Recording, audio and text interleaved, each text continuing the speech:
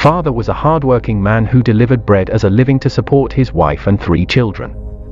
He spent all his evenings after work attending classes, hoping to improve himself so that he could one day find a better paying job. Except for Sundays, father hardly ate a meal together with his family.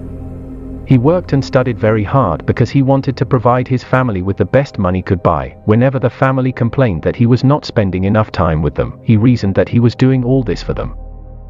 But he often yearned to spend more time with his family. The day came when the examination results were announced. To his joy, father passed, and with distinctions too.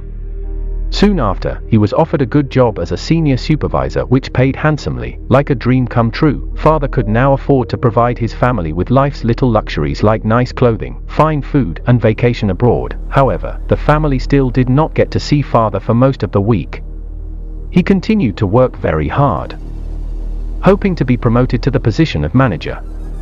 In fact, to make himself a worthily candidate for the promotion, he enrolled for another course in the Open University. Again, whenever the family complained that he was not spending enough time with them, he reasoned that he was doing all this for them. But he often yearned to spend more time with his family. Father's hard work paid off and he was promoted.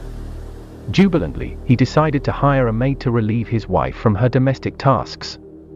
He also felt that their three-room flat was no longer big enough, it would be nice for his family to be able to enjoy the facilities and comfort of a condominium. Having experienced the rewards of his hard work many times before, father resolved to further his studies and work at being promoted again. The family still did not get to see much of him. In fact, sometimes father had to work on Sundays entertaining clients. Again, whenever the family complained that he was not spending enough time with them, he reasoned that he was doing all this for them. But he often yearned to spend more time with his family. As expected, father's hard work paid off again and he bought a beautiful condominium overlooking the coast of Singapore. On the first Sunday evening at their new home, father declared to his family that he decided not to take any more courses or pursue any more promotions.